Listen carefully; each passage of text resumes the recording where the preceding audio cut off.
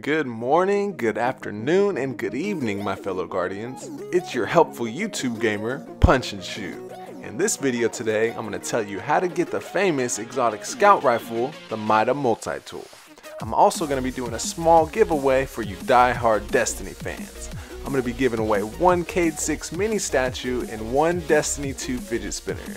So if you want to enter for a chance to win, just hit that subscribe button, leave a like on this video, and drop a comment below telling me which prize you would like. Alright, so on to the video. How to get the Mida Multi-Tool. The first thing you have to do is complete the campaign. Once you complete the campaign, you will receive a mission on Earth called Enhance. This mission is recommended light 260. Complete all enhanced quest missions and you will receive the Mida Mini tool from Devrim Kay. If you guys would like a more in-depth walkthrough of Enhance, check out my Enhance walkthrough in the link above or at the end of this video. After you complete the Enhance quest and receive the Mida Mini tool, head back to the tower and speak to Banshee 44 to receive the quest Sight, Shoot, Repeat. In this quest step, you must get 50 precision kills with the scout rifle and 25 multi-kills without reloading. So make sure to aim for the head and do not reload.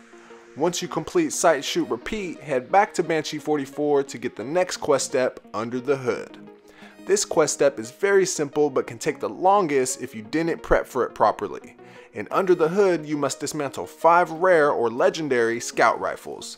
Hopefully you have some stored in your vault, if not I recommend completing your milestones, doing strikes, public events, or even the crucible, whichever one you have the most fun with and whichever one you think will give you the most blue and purple engram drops. I highly recommend using your fire team medallion for this step, you can buy them from Tess Everis at the tower. This will increase the loot you receive and will give you a better chance of finding high value rewards. Once you complete Under the Hood, head back to Banshee 44 to receive the final quest step, The Fall Will Kill You. In The Fall Will Kill You, you must kill 50 enemies while airborne with the SMG. So put that Mida Mini tool to work and get as many jump kills as you can until the quest is complete. After you get all 50 airborne kills, return back to Banshee 44 to be rewarded with the awesome exotic scout rifle, the Mida Multi-Tool. The Mida Multi-Tool is super easy to handle and is used professionally by many Guardians in the Trials of the Nine. With its great range and steady shot, it's no wonder why this Team Shot tool is one of the most sought after scout rifles in Destiny 2. And that's all there is to it, Guardians. Thank you all so much for watching. I super appreciate all the support.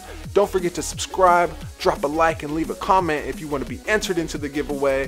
Thanks again, Guardians. You all have a beautiful night. Much love, and I'll see you in the next one.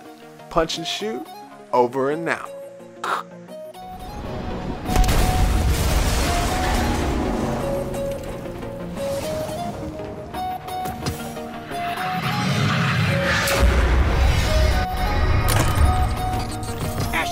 Guess what we did?